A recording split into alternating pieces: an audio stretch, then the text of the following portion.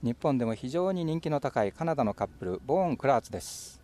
ソルトレークオリンピックでは4位とほんのわずかですがメダルに届きませんでした。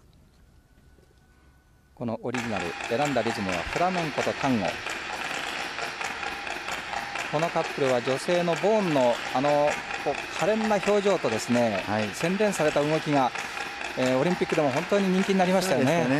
はいても素敵な動きですよね、この辺のね。はい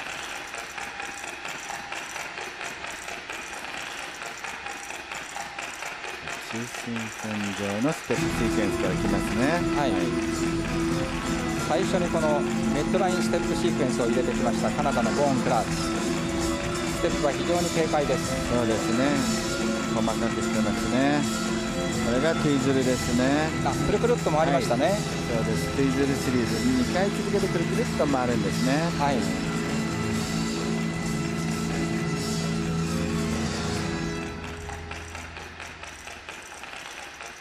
リフトの一つですね。随分派手なリフトですね、えー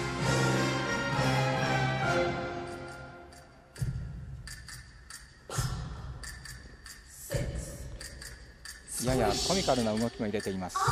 そうなんですよね。このちょっとモダンすぎて、はあ、ジャッジの人にしたら好きでない人も好みでない人もいるかもしれないですね。はい。その辺が難しいところですね。はいそうですね、ユニークなんですがもう少し普通の単語を望んでるジャッジにしてはちょっと点数は出しにくいかもしれないですね。なるほどね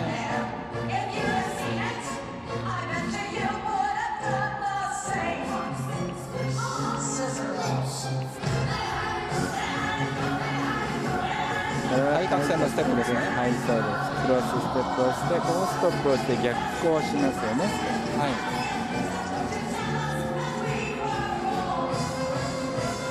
ちょうどリンクの中央で動きにアクセントをつけました。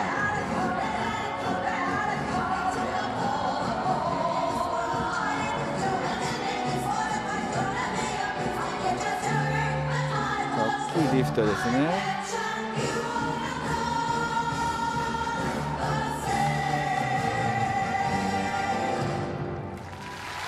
2分27秒の演技でした。なかなかコミカルな動きを入れた軽快な演技が終わりました。カナダのボーン・クラーツのカップルです。コンパルソリー2位でスタートしたカナダのボーン・クラーツそのオリジナルの演技をスローでもう一度振り返ってみましょう、はい、これはミッドラインでトゥイズルですね。よく合ってますね。はい。トゥイズルシリーズですもう一回はいやってますね。このトゥイズルは本当にあのきちっと合ってましたね。はい、テンポが合ってましたね。はい。これは随分派手な大きいリフトですね。はい。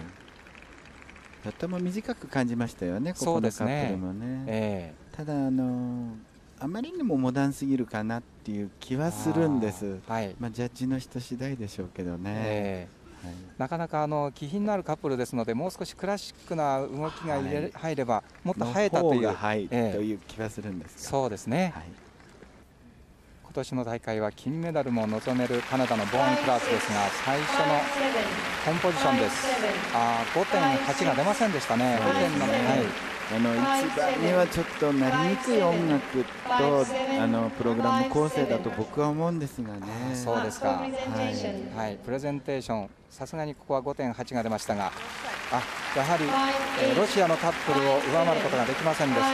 ランクは2位です。five eight, five seven, five eight, five eight. Thank you.